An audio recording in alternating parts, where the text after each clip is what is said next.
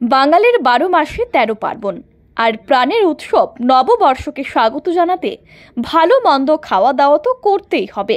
তাই রাজ্যবাসীর চাহিদা পূরণ করতে অভিনব উদ্যোগ নিল রাজ্যের মৎস্য দপ্তর। খাদ্য রসিক বাঙালির রান্নাঘরে কম দামে মাছের রাজা ইলিশের বন্দোবস্ত করেছে মৎস্য দপ্তরের অন্তর্গত অ্যাপেক্স সোসাইটি। বাজারের থেকে কম দামে তাদের কাউন্টারে মিলবে ভালো গুণমানের ইলিশ মাছ। রাজধানীর মহারাজগঞ্জ বাজারে শুক্রবার চালু হলো অ্যাপেক্স সোসাইটির কম দামে মাছ বিক্রির কাউন্টার। উদ্বোধন করলেন রাজ্যের মৎস্য দপ্তরের দায়িত্বপ্রাপ্ত মন্ত্রী সুধাংশু দাস। এবং আমরা বাঙালিরা বিশেষ করে খাদ্যরসিক মানুষ হই এবং আমরা সবসময় সুযোগ খুঁজে থাকি যে কখন সুযোগ পাই আর আমরা ভালো মতো খাব।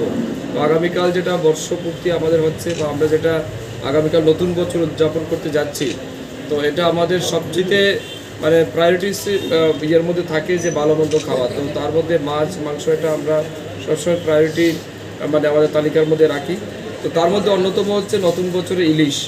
তো অ্যাপেক্স আমাদের যেটা রয়েছে সোসাইটি যেটা সবসময় মাছ উৎপাদন, চপন করে এবং বিশেষ করে ইলিশ রাজ্যের মধ্যে মানে মানুষের চাহিদা পূরণে এবং মানে উন্নত রকমের ইলিশ রাজ্যবাসীকে যারা সবসময় প্রদান করেন তাদের মধ্যে অ্যাপেক্স অন্যতম।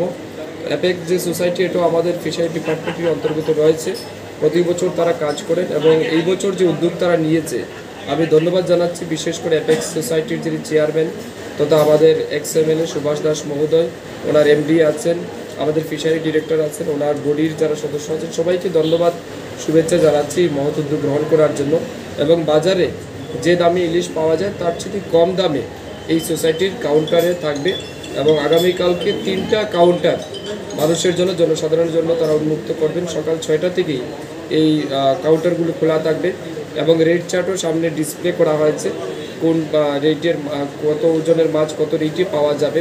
এবং আমরা দেখেছি একটা রিজনেবল রেট তারা রেখেছে, যেটা মানুষের জন্য অনেক বেশি উপকারে আসবে।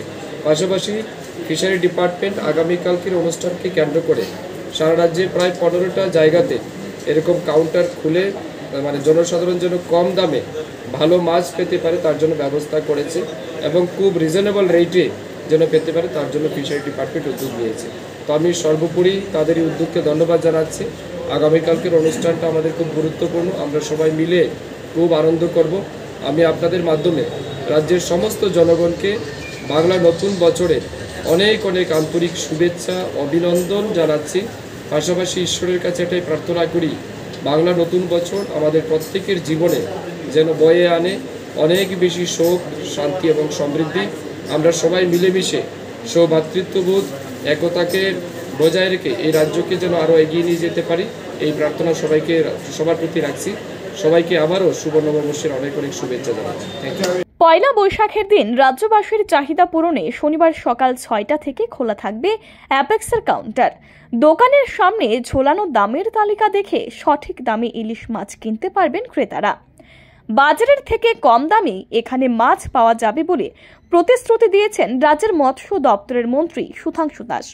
মোট পনেরোটি জায়গায় অ্যাপেক্সের কাউন্টার খোলা হয়েছে বলে জানিয়েছেন ফিশারি দপ্তর। তাই স্বল্প দামে বাঙালির পাতে ইলিশ মাছ এখন শুধু সময়ের অপেক্ষায়।